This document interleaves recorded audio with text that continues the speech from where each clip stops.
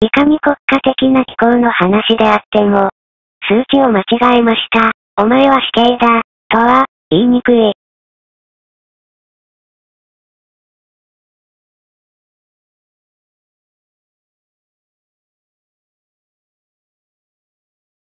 あらゆるすべてが、些細な間違い、で行動する存在の、果たして罪状は、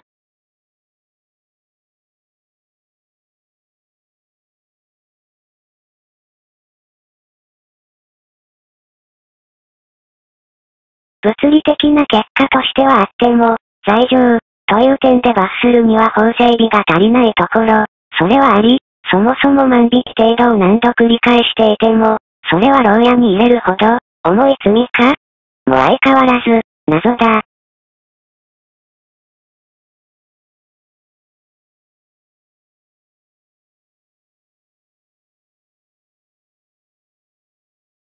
軽犯罪の重過失、その罪状の過失額とはいくらか。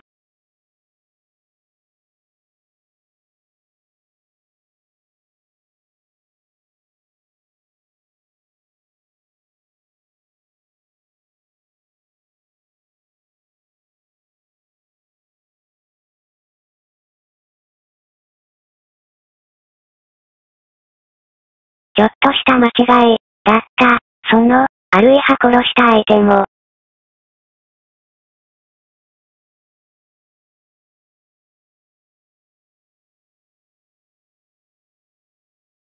お前は邪悪だ。その相手も実際は無関係。そんな結果の果て。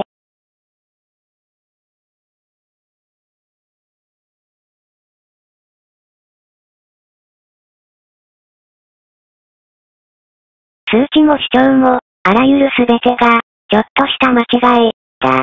それがその人の信仰であって。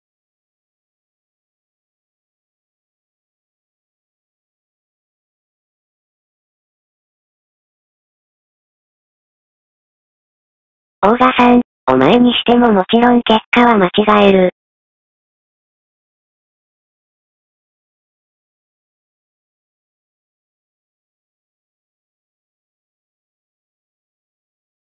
馬と鹿を間違えた奴がいた。その果てに何が起きた？